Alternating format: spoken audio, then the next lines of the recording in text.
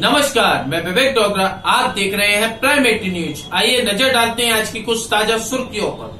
विजयपुर में रविवार को विभिन्न राजनीतिक दलों के एक दर्जन से अधिक लोग भारतीय कांग्रेस आईएनसी में शामिल हुए। एक बयान में पूर्व मंत्री और जिला अध्यक्ष आईएनसी सामा मंजीत सिंह ने कांग्रेस पार्टी में उन लोगों का स्वागत किया जिन्होंने पार्टी में विश्वास व्यक्त किया। मंजीत सिंह ने अपने स्वागत भाषण में कहा, लोग देश भर में कांग्रेस पार्टी के समर्थन में आ रहे हैं और एआईसीसी अध्यक्ष का, राहुल गांधी देश का नेतृत्व करेंगे। पूर्व मंत्री ने उम्मीद जताई कि जम्मू कश्मीर में भी कांग्रेस अपने दम पर सरकार बनाएगी और राज्य के तीनों क्षेत्रों में विकास सुनिश्चित करेगी। लोगों ने अन्य राजनीतिक दलों का सामना किया, जो कश्मीर में शांति लाने, बेरोजगारों को रोज़गार देने और राज्य के विकसित क्षेत्रों में विकास करने में पूरी तरह से विफल रहे। मंजीत सिंह ने कहा, उन्होंने कहा कि यह केवल कांग्रेस पार्टी है जो जो राज्यों को एकजुट कर रख सकती है। मंजीत सिंह ने कहा, अगर कांग्रेस पार्टी अगली सरकार बनाती है तो वे समाज के निचले सब, सबके और किसानों के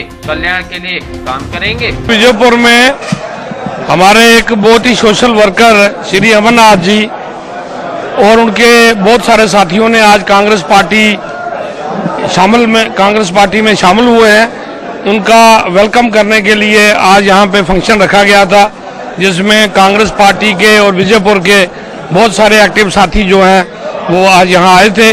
अमरनाथ जी और उनके साथियों ने आज कांग्रेस पार्टी की पॉलिसियों से सहमत होते हुए, कांग्रेस पार्टी की जो नीतियाँ हैं, उनसे सहमत होते हुए आज वो कांग्रेस पार्टी में शामिल हुए हैं। और मैं बतौर डिस्ट्रिक्ट सदर उनका वेलकम करता हूँ और उम्मीद करता हूँ कि जिस तरीके से देश में फिजा चल रही है हवा चल रही है कि कांग्रेस पार्टी हर जगह मजबूती से आगे आ रही है।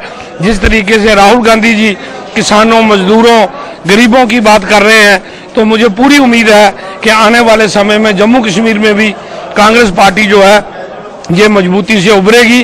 और आज जो साथी दर्जन भर साथी आज जो ज्वाइन हुए हैं कांग्रेस पार्टी में, मैं समझता हूँ कि इनके कांग्रेस पार्टी में शामिल होने से विजयपुर में कांग्रेस पार्टी को बहुत मजबूती मिलेगी और मैं और मेरे साथी इन नए साथियों का पार्टी में वेलकम करते हैं। जम्मू से रोहित डोगरा की रिपोर्ट।